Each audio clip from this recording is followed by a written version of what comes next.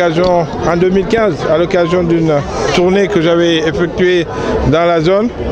Et j'avais constaté que là où accouchait, le maman, ce qu'on considérait comme une maternité était indigne euh, de la femme casamançaise, en particulier en ce 21e siècle.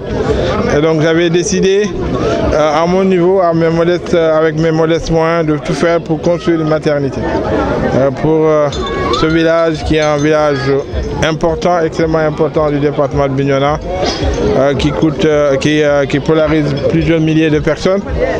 Et donc je m'étais ouvert aux responsables, en particulier Bakary, le chef de village, et, tous les autres. Et donc nous avons donc depuis 2016 commencé la construction avec les moyens propres, mais aussi avec le soutien d'amis. Donc nous avons pu mener le processus jusqu'à là.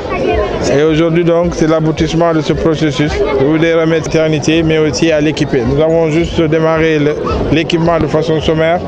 Nous allons poursuivre cet équipement en le dotant d'une table d'accouchement, mais aussi euh, de matériel nécessaire pour le bon fonctionnement de cette maternité.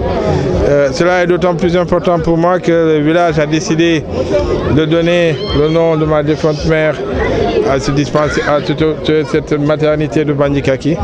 Donc c'était un honneur pour toute notre famille. Donc nous avons démarré cette construction, mais que nous allons poursuivre euh, cela à l'équiper, mais à l'entretenir aussi en mémoire, en souvenir, en tout cas en honneur de la, de, la mémoire de notre défunte mère. La maternité nous a coûté entre 18 et 20 millions avec euh, l'équipement.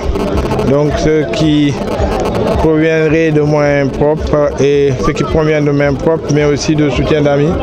Euh, il y a même des amis italiens qui sont passés nous voir pour dire qu'ils voulaient participer à l'équipement de la maternité. Et puis il y en a d'autres. L'adjoint maire, le premier adjoint maire de Ziguinchor vient de Finlande où nous avons aussi un conteneur de matériel. En dehors des, postes de santé Ziguinchor, nous allons faire le test que nous puissions amener une partie ici pour essayer de redonner encore beaucoup plus d'ampleur à, l'équipement qui est, qui est déjà sur Masterclass.